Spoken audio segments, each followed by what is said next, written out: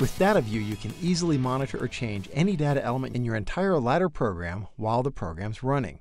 Let's say we want to monitor this C2 control bit. Well, just click on Data View, fill in the blanks. We want to monitor C2.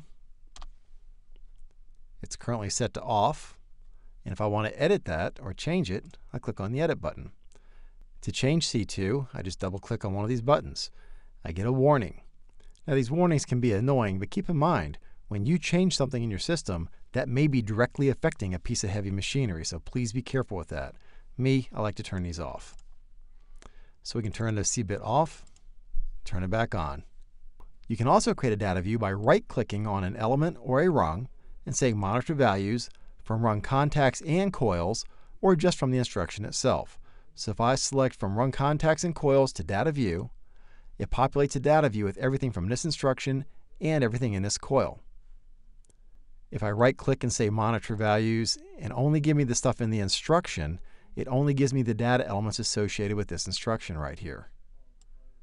That's a real quick and easy way to populate a data view. In a previous example, we double clicked on C2 to change it. Double click to change it again. If I single click on C2, nothing happens, and then I can independently write that later.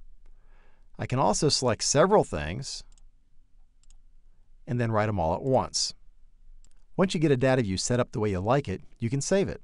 Highlight the data view window, then say Debug, Data View, Save, or Save As. Now you can open it anytime you want to explore a particular task or a subprogram. You can also save by right-clicking in the Data View window and doing a Save or Save As.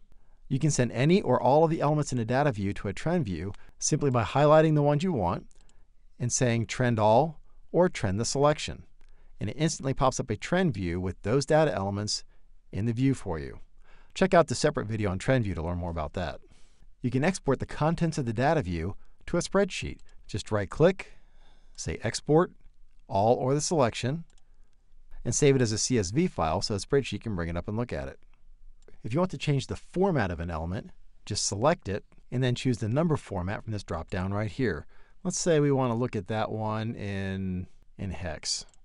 Each data view is fully customizable you can either go to View, Options, Data View, and change things here, or just right-click, Options, Data View. For example, right now we're just displaying the nicknames, but if I wanted to see the element along with that, I can do that. So I can see C1 is also named DriveY0.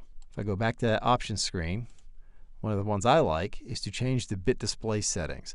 Right now an on is a box on and the off is a box off. I find that hard to see, so I prefer to change on to a green dot and off to a red dot. It makes it much easier to see what's going on at a glance in the data view. You can use the data view to monitor the status of programs and stages. Just drop the program name in a data view. I have a program right here called SetY7. Drop it in, and it automatically populates it with some of the more commonly used flags. If I type SetY7 with a dot, then I get a list of all the possible flags associated with that routine that I can monitor here in the data view. All the stages, the time slice, the counters, everything. Let's just monitor if this is uh, if this program is done yet. So now I can just watch the one flag associated with that routine. Well, that's a pretty good start on using a data view. It's an incredibly powerful yet easy and intuitive way to view just about anything you could want to monitor and or control in your program. Be sure to check out the other videos in this series for more ways to get up and running quickly with the Do More PLC. And as always, send us any suggestions or comments you may have. We appreciate the feedback. Spend less, do more from Automation Direct.